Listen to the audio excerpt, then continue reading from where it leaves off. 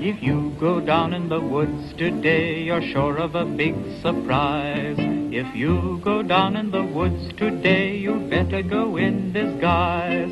For every bear that ever there was will gather there for certain because today's the day the teddy bears have their picnic.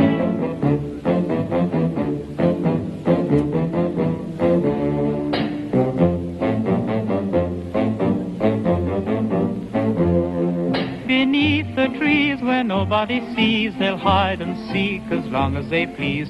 That's the way the teddy bears have their picnic.